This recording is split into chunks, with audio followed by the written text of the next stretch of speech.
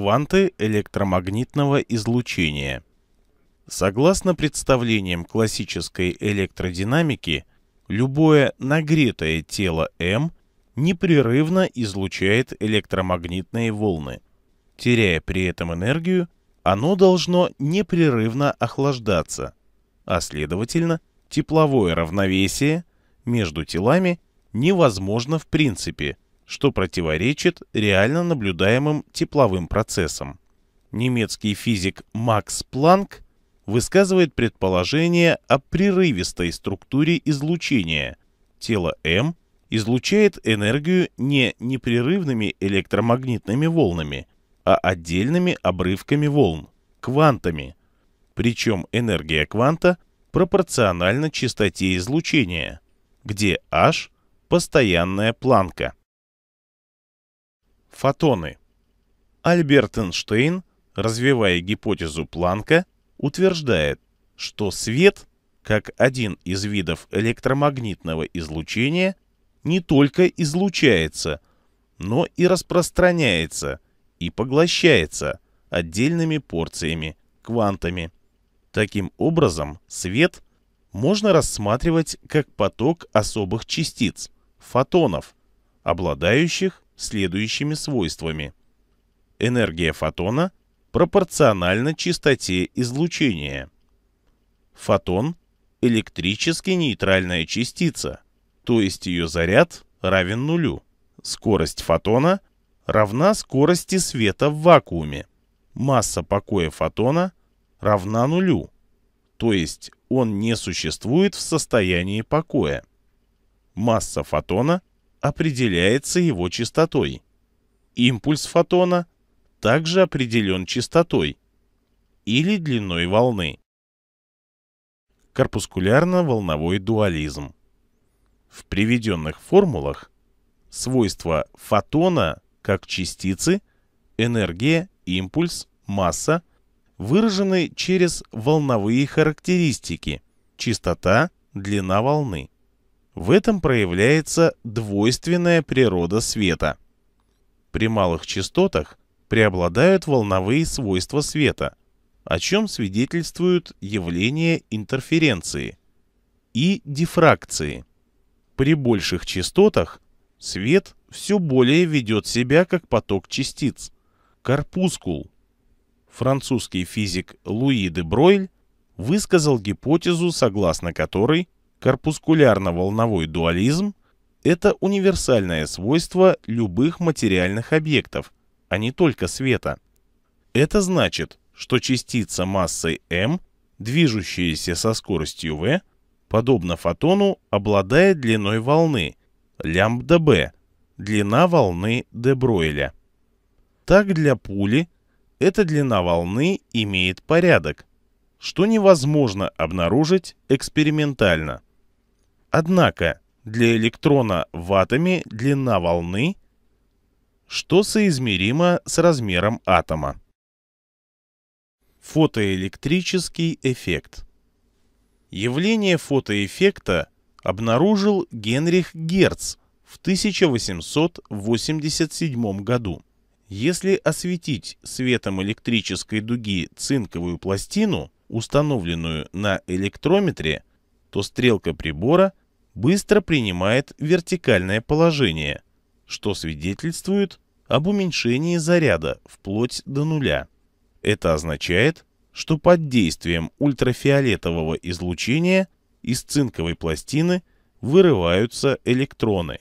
Явление вырывания электронов из вещества под действием света называется внешним фотоэлектрическим эффектом.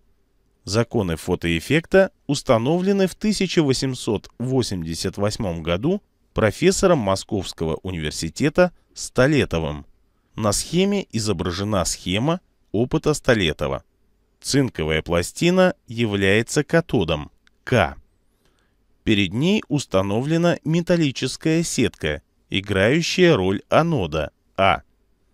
Источник ультрафиолетового излучения С освещает катод через сетку. При этом в цепи возникает фототок И, который регистрируется гальванометром. Если же цинковая пластина соединилась с положительным полюсом батареи B, то есть являлась анодом, то ток в цепи отсутствовал. Исследуя зависимость фототока И от напряжения У между катодом и анодом, Столетов установил, что эта зависимость не подчиняется закону Ома. Из графика видно, что фототок сначала растет, а затем перестает увеличиваться. Максимальное значение фототока получило название токонасыщения ИН. Столетов устанавливает, фототок насыщения, а следовательно число вырываемых светом фотоэлектронов, прямо пропорционален интенсивности падающего света. Меняя частоту падающего излучения, Столетов обнаруживает, что при некоторой минимальной частоте фототок исчезает. С другой стороны, фототок в цепи возможен даже при отсутствии источника. Это объясняется тем, что электроны, выбитые светом из цинковой пластины, могут иметь скорость достаточную для того, чтобы достичь сетки, то есть замкнуть цепь. Следовательно, чтобы превратить фототок в нуль, нужно приложить обратное задерживающее напряжение УЗ.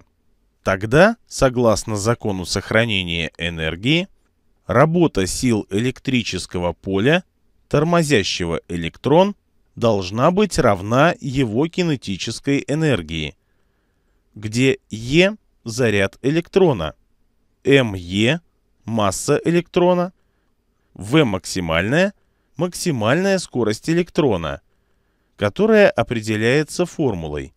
Опыт показал – что эта скорость зависит только от частоты падающего излучения. Таким образом, Столетов устанавливает следующие закономерности фотоэффекта. Первое. Для каждого вещества существует минимальная частота света, так называемая красная граница фотоэффекта, ниже которой фотоэффект невозможен. Второе. Фототок насыщения прямо пропорционален интенсивности света, падающего на катод. Третье. Максимальная скорость определяется частотой света и никак не зависит от его интенсивности. Четвертое. Фотоэффект практически безинерционен. Фототок возникает одновременно с освещением катода с точностью до 1 миллиардной доли секунды. Законами классической физики эти закономерности не объясняются. Теория фотоэффекта Альберт Эйнштейн в 1905 году показал, что законы фотоэффекта можно легко объяснить, если допустить, что свет поглощается квантами, какими он излучается и распространяется – при этом поглощенный катодом фотон целиком передает свою энергию одному электрону. Итак, фотон падающего на катод излучения несет с собой энергию hν, которая однозначно определяется частотой. Эта порция энергии может быть полностью поглощена только одним из свободных электронов катода. Ее должно хватить на вырывание электрона из металла катода, то есть на совершение работы выхода и на сообщение электрону кинетической энергии. Тогда, применяя закон сохранения энергии, можно записать это уравнение Эйнштейна для фотоэффекта. Выразим из него максимальную скорость фотоэлектронов. Из полученной формулы видно – что максимальная скорость фотоэлектронов, а следовательно кинетическая энергия, зависят только от частоты света, ню, и работы выхода, но не зависят от мощности светового потока. Поскольку каждый фотон поглощается только одним электроном, то число вырванных светом электронов, а стало быть и фототок насыщения, пропорциональной числу фотонов, то есть интенсивности света. И, наконец, из уравнения Эйнштейна следует, что энергии фотона hν должно по меньшей мере хватить на то, чтобы вырвать электрон из катода, откуда порог фотоэффекта, то есть красная граница, определяется минимальной частотой. А поскольку работа выхода различна для разных веществ, то и условие красной границы выполняется при разных частотах. Таким образом, фотоэлектрический эффект – это не просто физическое явление, это опытный факт, подтвердивший гипотезу Планка и Эйнштейна о квантовой природе электромагнитного излучения.